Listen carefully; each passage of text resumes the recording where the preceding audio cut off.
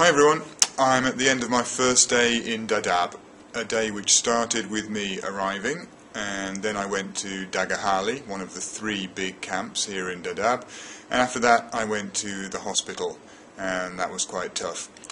Anyway, here are some images from my first day.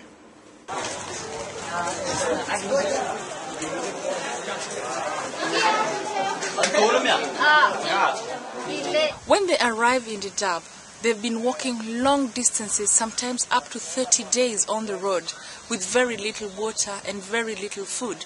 So when they get to Dadaab, they're tired, they're hungry, they're weak, and many of them, particularly the children, are malnourished.